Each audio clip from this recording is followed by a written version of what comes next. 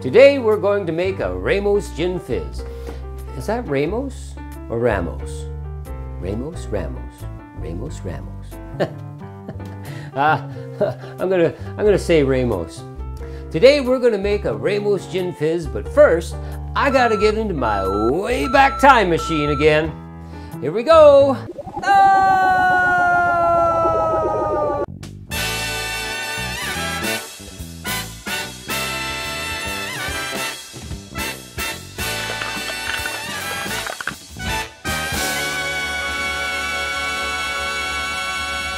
It was 1888 when Henry Charles Ramos created this creamy breakfast cocktail. yeah, I said breakfast at the Imperial Cabinet Saloon in New Orleans. Originally, the drink went by the name of the New Orleans Fizz, but Henry, who often went by the name of Carl to his friends, used to call his creation the one and only one. It's a foamy, fresh, snow white, velvety smooth concoction that became really popular really, really fast so popular, legend tells us that there'd be as many as 20 young men shaking in relay, passing it down the line, shaking their arms off to make Ramos Gin Fizz cocktails. And later, during Mardi Gras in 1915, 35 shaker boys were employed. And you know, they still couldn't keep up with the demand.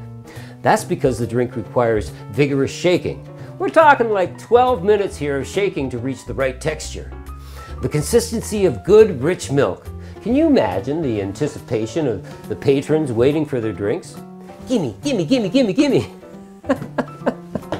ah, hell, give me a beer. I can't wait any longer. By 1907, Henry opened a bar called the Stag Saloon. That was on Gravier Street across from the swanky St. Charles Hotel in New Orleans.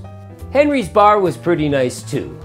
Not the image you might get of the French Quarter saloons at the time being a little, I don't know, rough and rowdy. Adorning the walls of the Stag Saloon fittingly were six elk heads.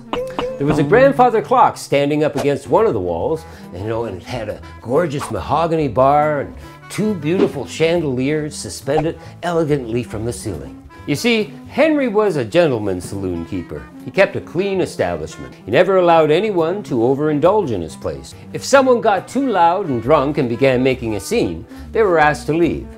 He also had a rule whereby last call came at the same time every night, closing up the bar promptly at 8 p.m.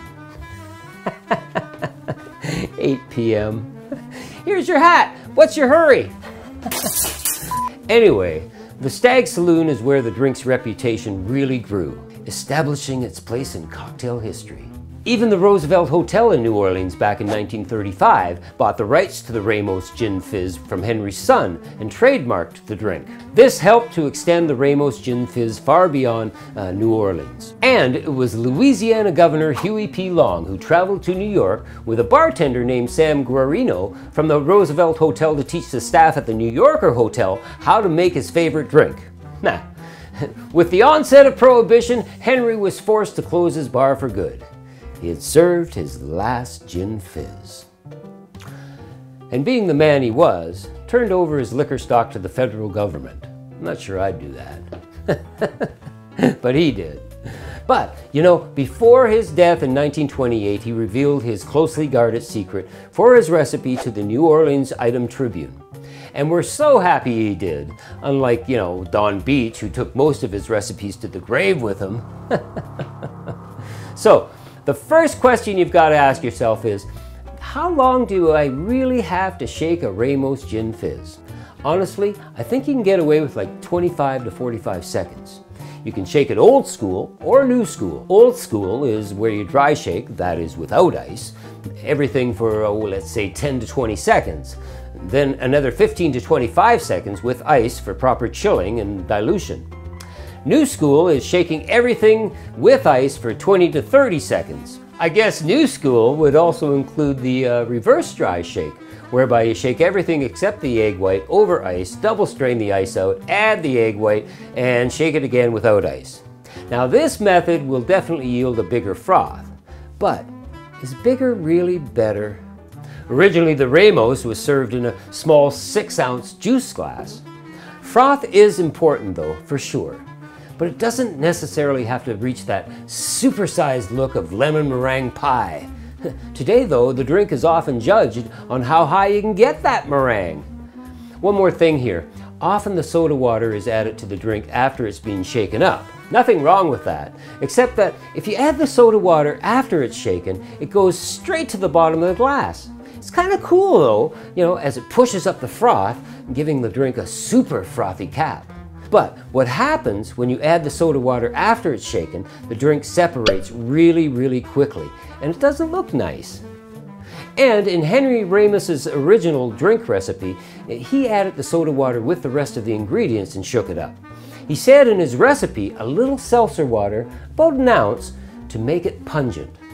What he got by adding the soda water while he was shaking was a froth with staying power. okay, let's shake, shake, shake it up here. Ah! and make a Ramos Gin Fizz.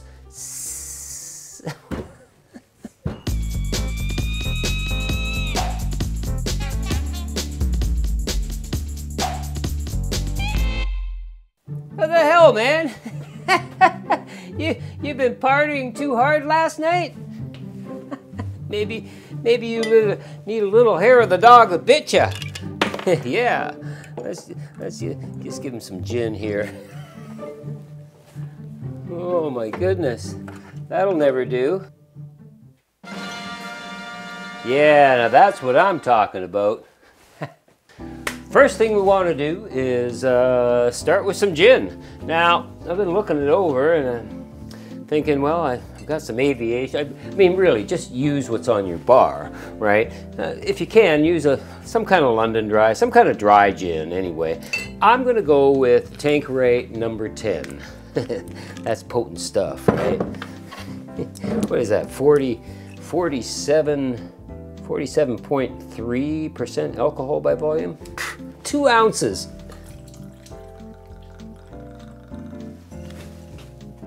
Next is some fresh pressed lemon, okay? And uh, what we want is uh, a half an ounce.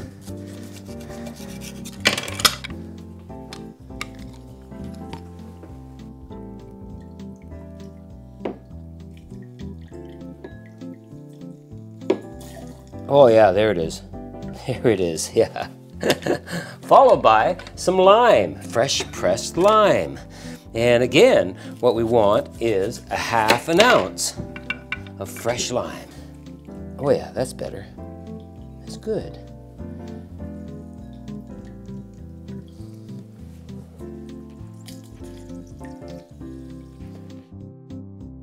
Pretty much there. Yeah, I'm thinking I'm there. An ounce of simple syrup.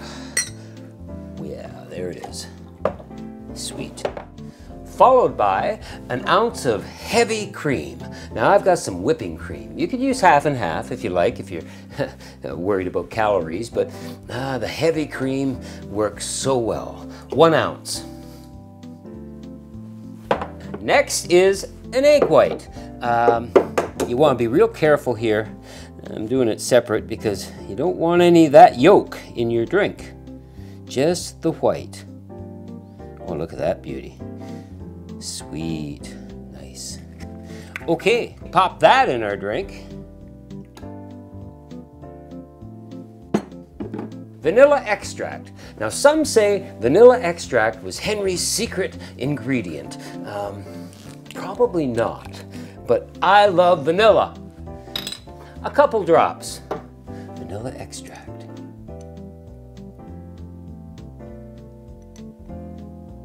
That's it. Oh yeah, look at that. Give that a little stir. Mm, I love vanilla. Mmm, I love vanilla.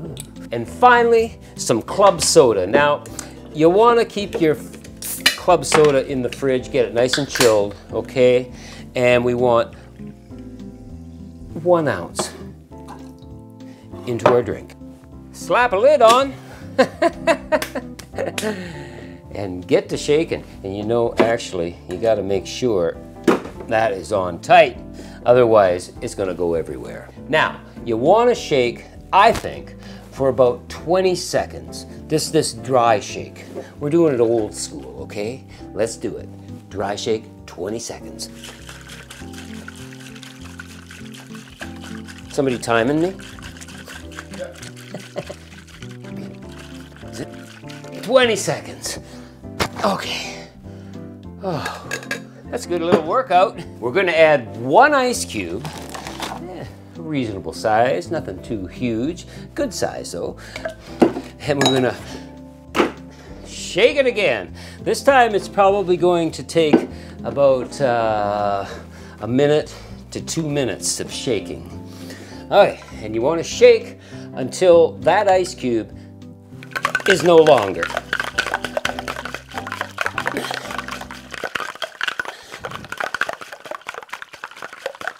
Yeah, should have got one of those paint can mixers. Just set it up there. Oh my God, it's a good workout. I need some help. Hey, hey, buddy, can you give me, give me, give me some help here? Here, you take over. Yeah, we can do this. yeah. Shaking it. Shaking it up here, boss. You're doing a good job there. I love that movie. You getting tired? Huh? yeah, getting tired? You take it. Maybe you should pass it on to someone else. Hey, other Bruce. Come on in here. Who the hell are you? All right, I'm here. like the I'm hat. your replacement. ha! Here we go. Go ahead. Shake to your heart's content, man. Give it all you got. Yeah. Okay. You you finish it up, okay? All right, I'm out of here. enough, eh? All right, I'll pick it up from here. Finish her up. Almost there. That ice cube is almost melted. Yeah, I don't hear any ice. It's gone. It's melted. Okay. Now, I've got a lovely little glass here. Um, just think that this drink is so elegant. Now I know traditionally uh, this drink is served in a Collins glass, a chimney style, you know, um, but I'm breaking the rules. we have no ice left in our drink. We don't need to double strain or strain it out whatsoever. Just pour it into your glass, your chilled glass. Oh yeah. And let that sit for a minute or so and let that meringue set. And uh, one of the ingredients is uh, orange blossom water in Henry's original recipe. He added it to the drink itself, but um, I'm going to add it after. That way you get the fragrance of it. And we want like three or four drops. And that's it. Perfect. And if you want to get fancy, you can just take a little uh, rind of uh, orange here and pop her right on top of the drink. How beautiful is that? Let's give it a go. Look at it. Oh. Wow. I'm not really a uh, cream cocktail kind of guy, but this is wonderful. It really is. So many flavors going on. You don't even taste the gin at all. So, make a Ramos Gin Fizz. You won't regret it. And uh, yeah, it's not just for breakfast anymore. Cheers.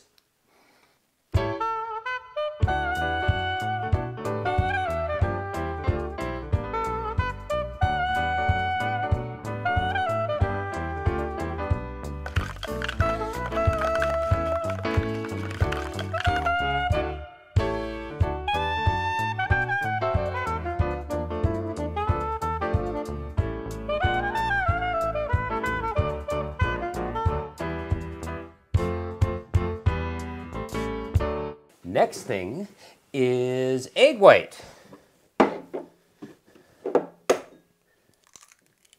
You gotta be real careful here not to get any of that yolk in your, uh...